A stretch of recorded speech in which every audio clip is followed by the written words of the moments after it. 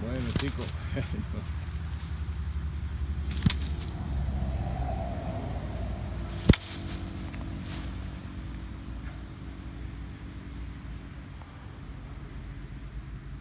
Venga para adentro. Vamos.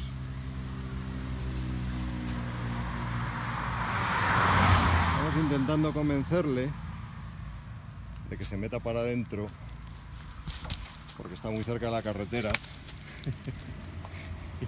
y le van a atropellar. Vamos. Vamos. Vale. Es que es muy grande, ¿eh? Se puede ver. Dale para adentro. Venga.